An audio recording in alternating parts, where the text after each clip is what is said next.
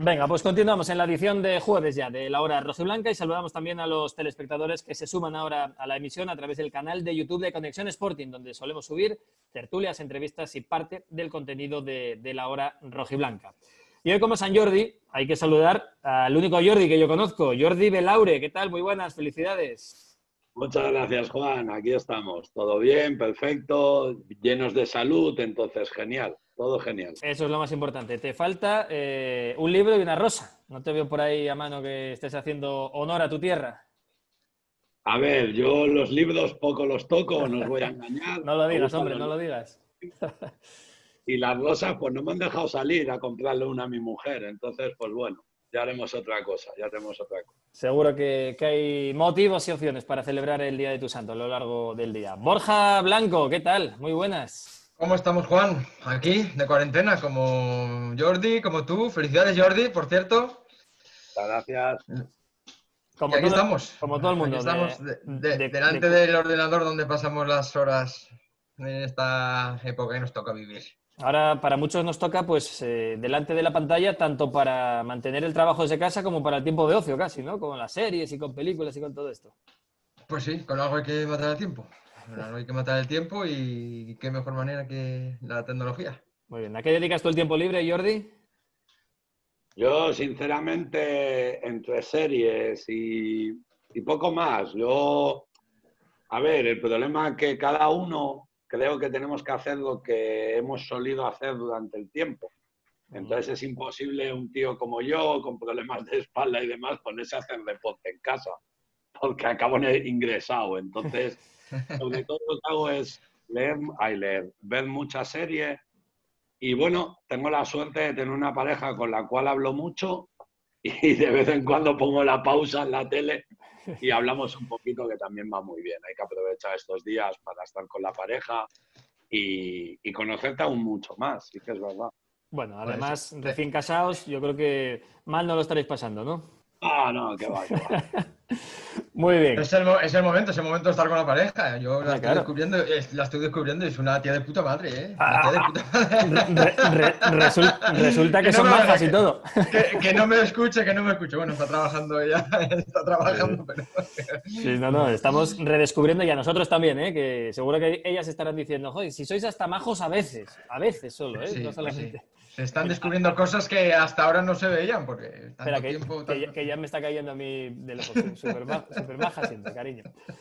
Eh, que tiene una casita pequeña donde estamos aquí en, México. Bueno, Borja, eh, además tú hacías poquito, esto te pilla casi como emprendedor, ¿no? Eres de esos emprendedores, una pequeña pyme que has montado, te has puesto por tu cuenta, y no sé a ti cómo te afecta el sector de las telecomunicaciones, si en este tipo de cuarentena que todos consumimos más redes, más internet, ¿te viene bien o se te complica a la hora de trabajar? Pues viene bien en el sentido de que es uno de los servicios considerados como esenciales y sí, pues alguna, hombre, el ritmo de trabajo no es el mismo que el día a día que te puede marcar la jornada laboral fuera de una cuarentena, pero sí, alguna cosilla estoy haciendo por ahí y, se va saliendo como se puede. Para los autónomos, la verdad que esto está siendo un palo, bueno, autónomos, ¿qué coño? Para, para, todos los sectores y para todas las, las formas jurídicas de, las empresas. Está siendo un palo tremendo. Pero bueno, hay que salir adelante y esto va a pasar. Bueno, para, para, quien te conozca, que es mucha gente, mucha afición del Sporting, ¿cómo se llama la empresa que has montado para que pueda ponerse en contacto contigo? Pues quien quiera ampliar gigas o alguna cosa de estas. Pues una empresa de telecomunicaciones, Domo Astur, es como se llama la empresa, y pues cualquier instalador autorizado de sistemas de internet inalámbrico, TDT, satélite, asistencia informática, bueno, un poco de todo en, este sector de las telecomunicaciones. Perfecto, Domo Astur. Si veo, que se nos corta, te llamo. No sé si tienes delegación en México, pero por si acaso buscamos algún contacto, que mal no nos va a venir a ampliar un poco todo esto. Tengo desplazamiento. Muy, muy bien. Hablabas de los autónomos, Jordi, tú hasta hace poquito eras también autónomo. ¿No te pilla esto por los pelos porque has, digamos, dado un giro a, a tus proyectos, pero por poco, ¿no? Hay muchos hosteleros, mucha gente que, ahora mismo está en un impasse sin saber cuándo van a poder abrir sus bares, sus restaurantes y, con todo lo que ello lleva detrás, ¿no? Lo que, por ejemplo, a mí me afecta lo que a nosotros los medios nos afecta la inversión publicitaria, que es bastante importante de hostelería en Asturias. Pues claro, todo eso se tiene que cortar. Eh, los camareros, los proveedores, los de las carnes, los de la sidra. Claro, eso es un círculo que al final en Asturias mucha gente está en torno al sector de la hostelería, ¿no? Pues sí, yo tuve, entre comillas, suerte porque no acabo de funcionar como esperaba. Entonces, bueno, lo mejor que puedes hacer en tu vida cuando ves que un negocio no, no avanza, eh, para, mi, para mi forma de vivir es cortar el negocio y mirar otros horizontes. Mm. En ese momento corté, corté justo un mes antes de que todo esto empezase. En, el sentido, en este sentido tuve mucha suerte. Mi 50% de vida, que es mi mujer, tiene una autoescuela. Y bueno, el tema autoescuelas, tema de negocios que han tenido que cerrar obligados, pues estamos como todos.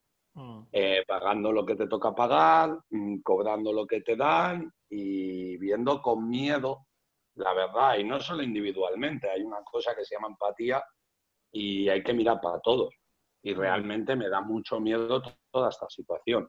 Fuera de las ayudas, fuera de quién, si se puede hacer más o menos, es miedo. Miedo a ver cómo podemos volver todos a la normalidad laboral. Lo primero, la salud, por mm. supuesto, pero a la misma vez no podemos cerrarnos los ojos en mirar realmente qué nos está pasando o qué nos va a pasar económicamente dentro de unos meses. Pero bueno, yo siempre digo que hay que mirar las cosas positivas y hay que reinventarse. Entonces, en cuanto nos abran la puerta, pues como los toros de San Fermín, a reinventarse, a salir por la calle estafeta, a buscar la fórmula, el método, el modo, para volver a ser feliz trabajando y mm. sobre todo para poder ser feliz a final de mes pagando nuestras facturas. Seguro que, que, alguien de recursos como tú encuentra pronto el, el, camino. Es que, es que sobre todo, sobre todo gente, gente con autónomos o empresas con locales. Porque bueno, yo de lo malo me muevo y no tengo un local físico, yo estoy en mi casa y voy bajo demanda, por decirlo de una manera.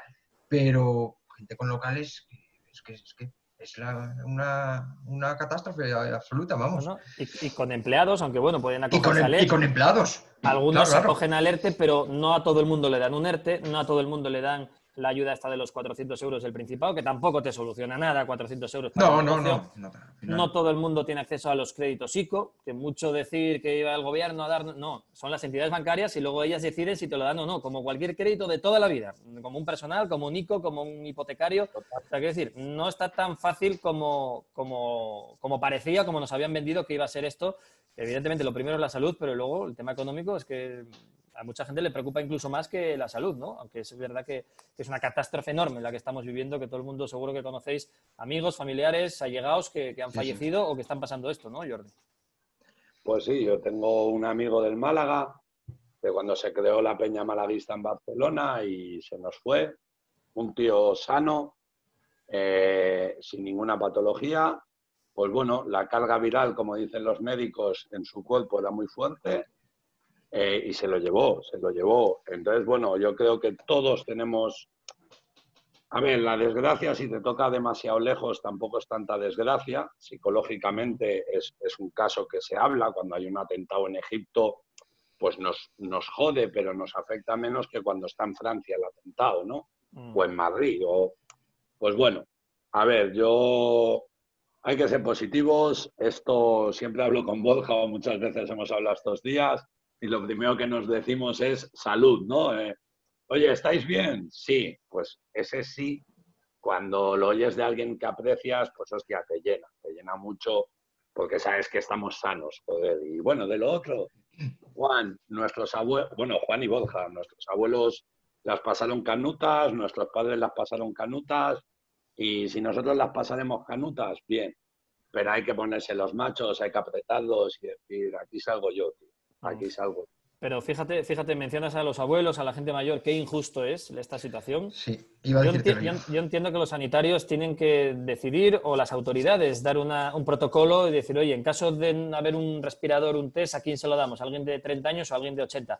Pero hago la mar, es cruel, es inhumano, es jugar a ser casi Dios. No sé si tendría que primar el que primero llegue y, oye, el que tenga más suerte menos pero que esta generación, que son los que han sacado a España de una transición, primero, o sea, primero de, una dictadura, de una posguerra, que han vivido algunos de ellos incluso la guerra civil, que han pasado hambre, que se han buscado la vida para que nosotros podamos tener ahora nuestro trabajo, nuestro estado de bienestar, nuestra calefacción, nuestro baño, nuestro agua caliente, que parece que no, pero son lujos que ellos no tuvieron en su mayoría hace 50, 60 años y que ahora los hijos y nietos de esa generación estén diciendo que ya no valen para nada, que se les deje morir porque vale más otra vida que la de ellos, aunque les quede menos por naturaleza, hostia, me parece súper cruel y, súper inhumano, ¿eh? Es increíble. Y además la forma en la que se producen los fallecimientos, sin la mano de un familiar, del hijo, de, los nietos, de, no sé, eh, las morgues estas que se que, hicieron en, en Madrid, pues que, es que la gente se moría, se moría sola, se moría sola. No puedes despedir a tu padre, no puedes despedir a, tu abuelo. Es que ni ir al funeral, tres personas te dejan ir. Ni, ir, al, ni al, funeral. Sí, si hablaban, eh, sí, sí, los, los, los, enterradores de los cementerios hablaban que, que, que, se les saltaban las lágrimas y mira que están, era un, caso que salió por televisión, un paisano que llevaba años en el tema este y llorando. Que, mm. tienen que estar acostumbrados a ver a gente sufriendo en un cementerio. Hay, hay, comparativas que no tienen lógica. Eh, que tú veas en el Congreso cada metro y medio un diputado, pueden estar. Que tú veas programas de televisión, un Sálvame, el de cuatro, el otro, el de la sexta, que están cada metro y medio y 15 personas en el mismo plato. Y no puede haber 15 personas en una catedral, en una iglesia grande, en un cementerio abierto para despedir. no digo amigos y allegados, pero la familia directa, hijos, sobrinos, primos, tíos, y que no te dejen eso. Yo veo, hay normas como lo de los niños. O sea, los niños igual que podía ir a Mercadona, pero no podía luego ir al parque. Y sigue sin dejarle ir al parque, le dejan dar paseos por la calle. los, parques no, los, parques no, pueden ir, ¿no? Por eso, el que viva la calle corrida, muy guapo, pero el que viva en, no sé, en Monuza, que es la acera más estrecha, ¿qué hace? ¿Por dónde camina el guaje? Y es más peligroso casi eso que... No sé, yo veo situaciones que no, no acaban, no acaban de, de hacer las cosas bien. No sé vosotros qué opináis de todo esto. Yo creo que la situación es muy complicada por desconocimiento, desconocimiento de todos. Eh, yo llevo hablando del tema desde el primer día y, es muy raro, muy diferente todo, porque esto no, no es un enemigo visible. Tú tienes un enemigo visible y, oye, a ver, en los años 90, y aquí tenemos tres que tenemos una cierta edad ya, somos muy jóvenes, pero los 90 los conocimos, ciudades grandes como Barcelona, Madrid, tú sabías que el skin del Barça, si se cruzaba con el del español o un punky, eran enemigos visibles. Esto es un enemigo invisible, nadie eh, está enseñado a lo que ha pasado. Eh, las soluciones, cada uno tenemos una forma. Yo, por ejemplo, mis sobrinos sé que no van a salir a la calle. ¿Por qué? Pues porque mi hermano lo que quiere es que dentro de 15 días puedan darse un abrazo con mi madre que hace un mes y diez días que no la ven, por ejemplo. Pues bueno, cada uno que ponga las prioridades en su familia, que cada uno ponga la responsabilidad de los suyos. Yo lo haría así. Yo si tuviese un hijo, lo siento, pero no saldría. No saldría. Y menos a jugar el solo. ¿Qué hago? ¿Lo llevo a una plazoleta que pegue cuatro balonazos a una pared? Y cuando venga el, el, colega del cole no lo puede ni darse un abrazo. Es que no lo sé. Es muy, es muy complicado y, cómo, contienes a un niño de 5 años que no vaya más allá, que no se acerque a alguien, que vea a un amigo de lejos y vaya a... Eh, yo entiendo que los pobres niños están pasando los que peor, ¿no?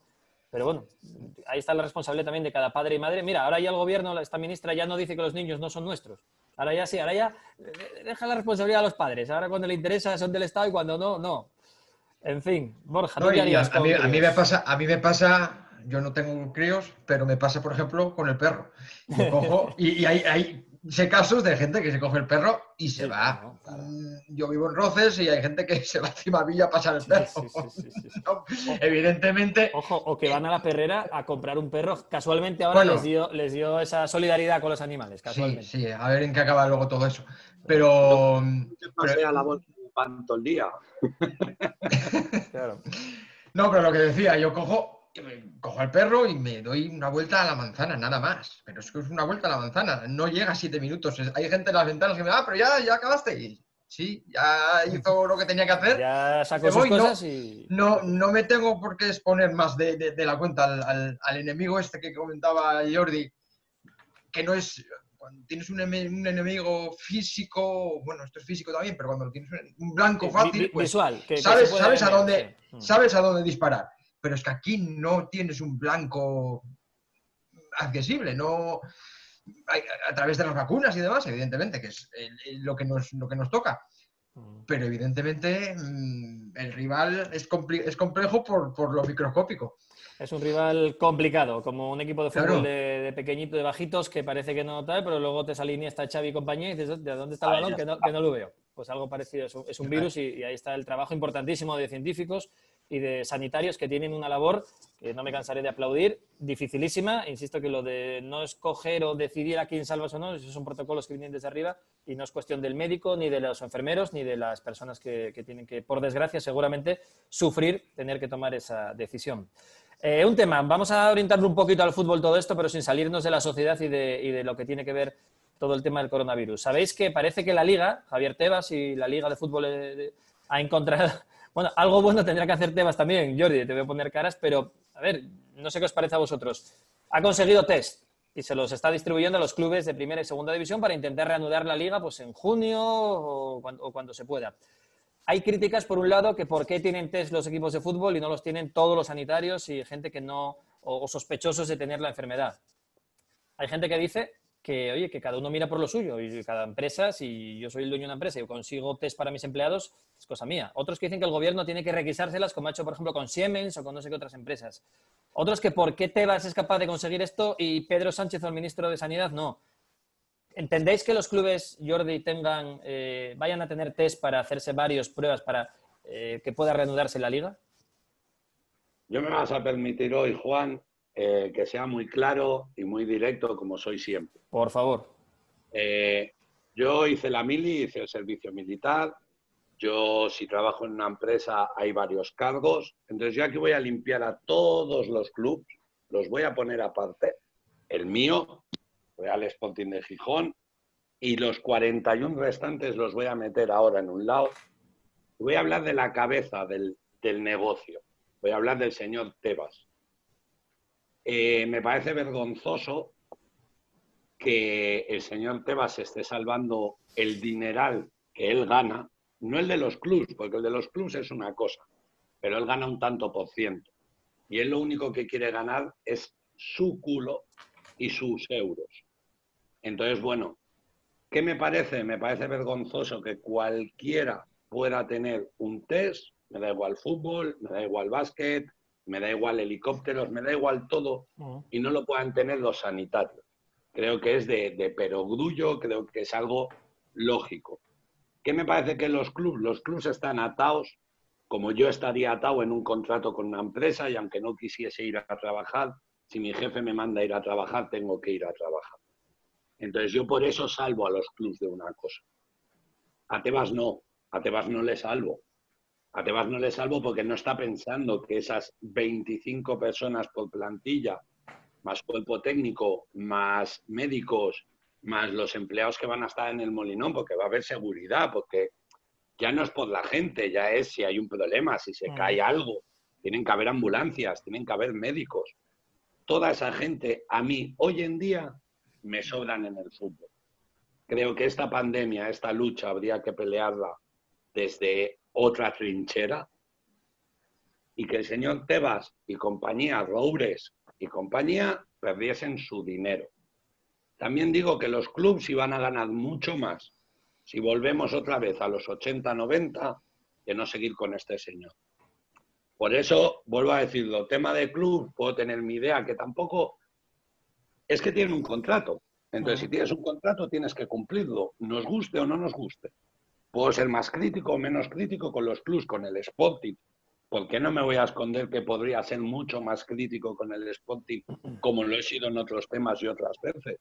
Pero es que en este tema el Sporting está cazado y firmado por un contrato. Sí, pero Jordi, escucha, que los que la liga como entidad, como asociación, como si fuera una empresa, consiga medios para reanudar su actividad, yo entiendo que el presidente o esta gente está en su derecho de intentar defender a lo suyo. El problema no es que no tenga los médicos y la liga sí, la liga dirá, oye, es que no es responsabilidad mía que tenga los médicos. Yo, yo miro por lo mismo, como si fuera una empresa. Yo antes se lo doy a mis empleados que, oye, no es responsabilidad de la empresa que lo tenga toda la ciudad o que lo tenga todo el país.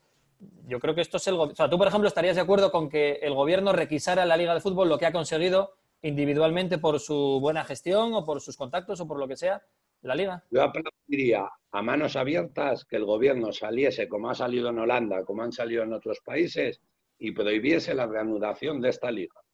Si con eso se tienen que quitar test, se tienen que quitar todo, que lo quiten. Mm. Pero simplemente por una idea, Juan, pan y circo. Entonces, ¿el gobierno qué se está? ¿Lavando las manos ante una empresa tan grande como Tebas? No lo sé, no lo sé si se atreven o no. Borja, ¿tú cómo ves esto así desde tu punto de vista? O sea, al final, al final lo que tendría, partiendo de, una, desde una perspectiva desde, el gobierno, lo que tendría que haberte es para todo el mundo. Empezamos por ahí. Es que empezamos por ahí. Ya las empresas, lo que decía, son empresas privadas, empresas, joder, eh, en la sanidad, es que en la sanidad, que están en primera línea, están en primera línea de, tienen al enemigo este que hablábamos, lo tienen aquí, lo tienen aquí, y, no tienen, no tienen ni medios, ni test, hablo con conocimiento de causa, no tienen, no tienen medios. Entonces ya, que una empresa privada, un colectivo de, privado, se busque, lo que decías tú, Juan, eh, se busque sus castañas y consiga los test, pues es una labor que tendría que hacer el gobierno. Exacto. lo, veo, por ahí. lo veo por ese sentido, vamos. Si el gobierno no es capaz, no tiene capacidad, cosa inaudita, pero no la está teniendo, como estamos viendo, de conseguir eso para todos los españoles, y una parte de españoles sí lo consigue, coño, es como el perro del hortelano. O sea, ni me lo das tú, ni me dejas que yo lo consiga. Entonces, ¿qué tenemos? Que parar todo y que morir todos, porque no nos dejas conseguir salvarnos y tampoco nos salvas tú. Claramente es una mala gestión organizativa del gobierno no, no hay más, no hay más. En fin, pero Jordi, luego quienes decimos esto somos fascistas, fachas y no sé cuánto, y, ponemos piedras, a, dejamos trabajar a los expertos, ¿no? Con 22.000 muertos, ¿no? Mira, Juan, yo llega un momento que el otro día lo hablaba con mi mujer. Creo que dentro de 10 años voy a coger la casa viciosa de mi cuñado, se la voy a comprar, y me voy a ir al monte, voy a montar dos piscinas, una cabra, y que me dejen vivir tranquilo. Y, tu huerta y afuera, y no necesitas nada, ¿no? Por si acaso. Porque, porque si eres crítico con uno, eres de un lado, si eres crítico con otro, eres de otro. Si un día levantas la mano y dices, hostia, lo que la, hablemos de fútbol, lo que la medida que ha hecho Javier Fernández me parece correcta. Ya eres un vendido y un tal. dímelo a mí. dímelo a mí. Que diga lo que diga en ese sentido, me caen por uno o por otro. Claro, entonces llega un momento que lo que veo que la sociedad estamos viciados en el, en el yo más y el tuyo más culpable. Mm. Y, hostia, déjennos vivir, déjennos que cada uno tengamos... Yo ahora, por ejemplo, he soltado una cosa y algunos dirán, hostia puta, pero si tú amas el fútbol, si tú luego cuando abran el molinón vas a ir, claro que voy a ir, claro, pero yo tengo amigos futbolistas como los tenéis vosotros yo estoy hablando con ellos. No he hablado con ninguno de ellos de la posibilidad de la vuelta. Me preocupo si están bien, me preocupo si en el país en el que están eh, tienen medidas, si están en cuarentena, si, hostia, tío, estás bien, tu madre, tu tal. Es lo que me preocupa. Ah, no, hay gente que lo lleva todo a los extremos. Si dices blanco, eres facha. Si dices rojo o eh, negro, eres rojo. No, Dios, no podré tener una opinión propia propia. Ya. Sí, sí, sí, sí. La tortilla a mí me gusta cruda. A Borja le gusta, por decir, ¿eh? Le gusta más esta. es que Borja no tiene ni puta idea. Gustos, aquí en el paladar, gustos, cada uno el suyo. Mm. No, no, y, que yo lo que discuto por ahí con mucha gente en redes, que lo estaréis viendo, es, eh, yo hablo de la gestión puntual. Me dicen, no, es que criticas porque es un gobierno de izquierdas. Es que si fuera Rajoy diría lo mismo. En Portugal, que es un gobierno de la misma izquierda que en España, quizás no tan radical, pero de izquierdas, lo están haciendo puta madre, con perdón, porque tienen los muertos que tiene España en un solo día, y ellos en total. En México, donde vivo yo, de momento hay muy pocos muertos, espero que siga siendo así, y no santo de mi devoción precisamente el presidente este del amuleto que tenemos por aquí. Es decir, Donald Trump, que es de mucha más derecha que cualquier derecha de España, la está cagando también y, se dice. O sea, es que da la sensación de que por criticar a, y que gente que es más del carnet de su partido político que de su familia. ¿Cómo puedes anteponer a, porque tú puedes ser muy de izquierdas o muy de derechas, pero si ves que algo es evidente que lo están haciendo muy mal y que deberían dimitir más de uno, no puedes decir que bueno, hay que dejar los expertos, es que pasa en todas partes. No, joder, que es que te puedes enfermar tú o tu hija o tu madre mañana. Y yo, yo iría más allá, yo iría más allá todavía. Es que no se está, yo creo que no se está viendo la realidad, no se está canalizando la, situación como, como se, vamos, a mi, a mi, juicio, ¿eh? como debería. Vamos, van 20, casi 21.000 muertos hoy, era, ¿no? Más, o menos, por ahí andará. Mm. Lo hablaba el otro día con un conocido. Decíamos, imagínate, es que es una entrada media buena, muy buena del Molinón, Sí, de gente muerta. Tú imagínate de, de fallecidos un- esa cantidad de gente y, joder, y no se le está dando una importancia, joder, que son veintipico mil muertos. Es una barba- que se sepa. pero es una barbaridad. Que se sepa, porque hay gente que no cuando- está sí, cuando- contabilizada. Cuando el ébola, cuando el ébola hace 3, 4 años, aquel perro famoso que era el portador de no sé qué, Excalibur. se echaron, se echaron, eso es, se echaron las manos a la cabeza a la gente. ¿Cómo se va a matar, sacrificar un perro? No sé qué. Manifestaciones Y en ahora- y 25 ahora van ciudades. hubo. Y ahora van Pero- 20 y casi 21.000 muertos. Es que, vamos, y ca- cada, cada, son 21.000 vidas. Que, que, joder, ponte a pensarlo, 21.000 historias. Y No lo 21.000 sé. familias y, y las que no sepamos, que insisto, que hay gente que no está Y- cómo se fue lo que-. Lo que decíamos antes, ¿y cómo se fue esa gente? ¿Y cómo se fue esa gente? Son más es. de 20 veces más los asesinatos de ETA. Y miramos las cifras y parece como que son números. Y esas personas, y nadie está hablando de izquierda a derecha, estamos hablando de una gestión, de una forma. Yo quien me siga en Twitter, eh, le pegué hostias a diestro y siniestro y las seguiré pegando a izquierda y a derecha, me da igual. Hay gente muriendo. A, a quien lo merezca en cada momento, es que es eso. cinco amigas de mi madre contagiadas. Tengo una persona que se me ha ido. Eh, no voy a asustarme si es la derecha o la izquierda. Si yo creo que Juan hace algo mal, eh, como tenemos una amistad, te llamaré y te diré, oye, picha, mm, creo que hoy la cagaste. Mm. Pero como si tú y yo no tuviésemos amistad y no tengo el trato de llamarte, te lo diría en público. Oye, Juan, esto que has dicho la has cagado. Pues Pero- entonces nada, te llamaría antijuanista y serías un tal, porque todos mis amigos te dirían, no, pues lo hago mal, está bien, hay que decirlo, para eso somos personajes Ah. públicos, entre comillas, un poco nosotros. Pero al final no se trata de siglas ni se trata de nada de esto. Se trata de un problema que, que- que tenemos ahora mismo, que nos cayó encima y que hay que sacarlo pues, a base de sentido común, yo creo. Que nada de, de derecha ni de izquierda. Yo- no seré yo quien hable de política tampoco, ¿eh? pero, pero no, es que no- ayer en el, en el Congreso también a, a- a palos en, en este momento, cuando lo que hay que hacer es unir fuerzas. Que si el Titanic, que si el iceberg, que si el- yo no soy la orquesta. No, no es el momento, es que no es el momento. Ya, Borja, pero yo entiendo también a, a todos, ¿eh? Cuando tú ves una gestión que es mala, tendrás que decírselo también. Entonces, claro, el otro te contesta. Entonces tú le contestas más. Dices, vamos a ver, es que si apoyas algo que está mal hecho, yo creo que serían culpables también la oposición si no dijeran nada. Porque, oye, Acabas cayendo en Entonces, claro, más. Ya, ya, ya, pero ¿cómo, cómo- Acabas. cómo lo haces entonces? ¿Cómo le dices al que lo está haciendo mal que debe cambiar? Porque entonces sabes que te va a contestar, entonces ya está el lío armado. Eh, no es fácil. Eso de que dos no pelean si uno no quiere es mentira. Porque el que quiere empieza, pero luego el otro tiene que contestar. Entonces ser- sería tonto. Entonces ya no es que busque la pelea, es que sería bobu si no contesta, ¿no? Entonces, Sí que creo, Juan, y el otro día lo demostró la chavala de... Es que no me sale yo los nombres de los políticos, me dais a perdonar. Me sé algún futbolista, pero de políticos me sé. La chavala de, de- Joder, ¿cómo se llama? La de Común Madrid o la de Más Madrid, que fue donde estaba la Calmena, y el, y el Almeida.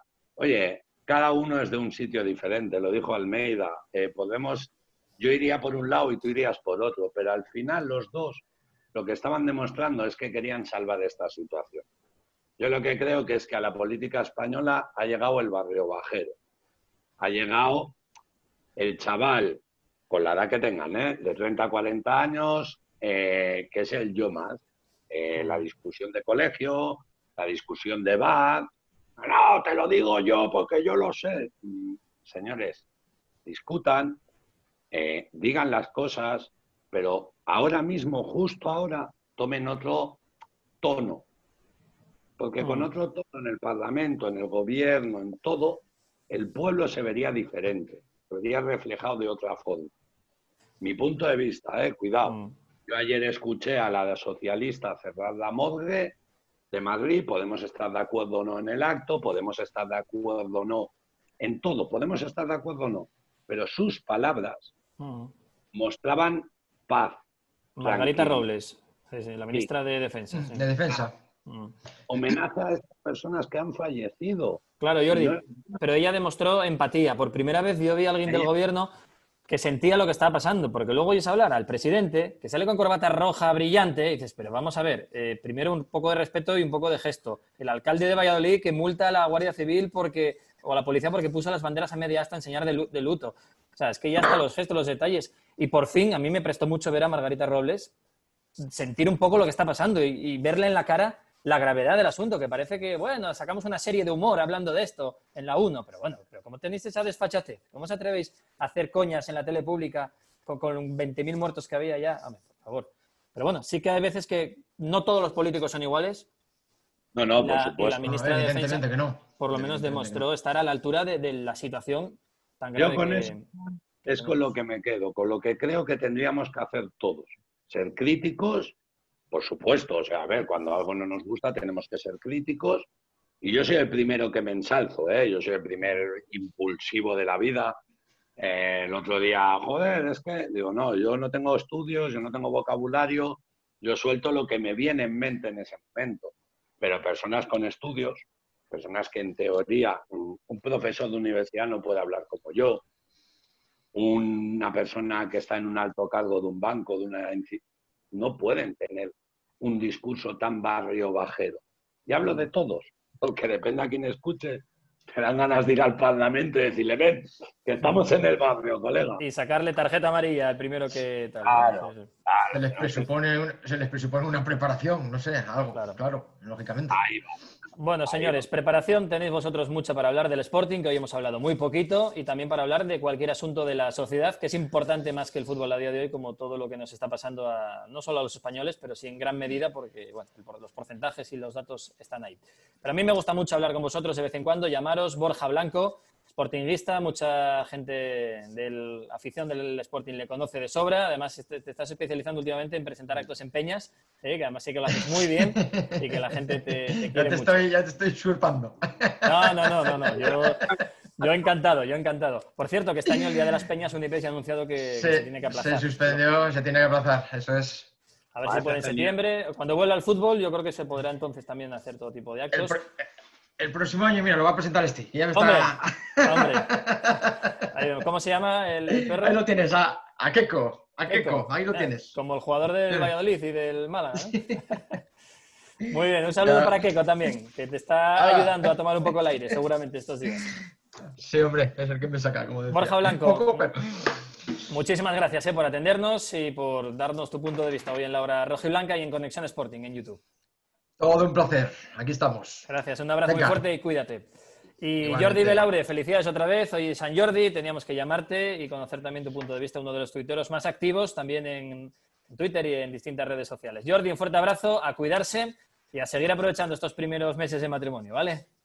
Muchas gracias, un fuerte abrazo para todos. Y oye, algo que sí que he hecho de menos y que quiero oírlo otra vez, y lo haré el primer día que suene, que podamos entrar en el Molinón, será a mi amigo Borja cantar un Sporting. Eso sí. Sello, de un gol, sello de un gol que te gusta a ti mucho. ¡Gol ¡De Gastón! mi primer gol, mi primer gol en el Molinón. Y no sabes la... Bueno, sí que lo sabes porque me has visto. Sangoy, ¿no? Gastón Sangoy, sí señor. Sporting, una Sporting Huesca. Muy bien, pues escucharemos muy pronto a Borja cantar goles del Sporting y poner luego a la canción de la victoria de, después de Tina Turner, después de cada triunfo del Sporting. A ver si estamos a tiempo de engancharnos, de engancharnos todavía, que todo puede pasar, quién sabe. Si se reanuda el fútbol, aunque Jordi no quiera, igual lo reanudan y a ver qué pasa. Si, tenemos una alegría al menos entre tanta, tanta cosa rara que nos está pasando últimamente. Un abrazo muy fuerte a los dos, amigos. Borja Blanco y Jordi Belaura. Gracias. Venga, a ti.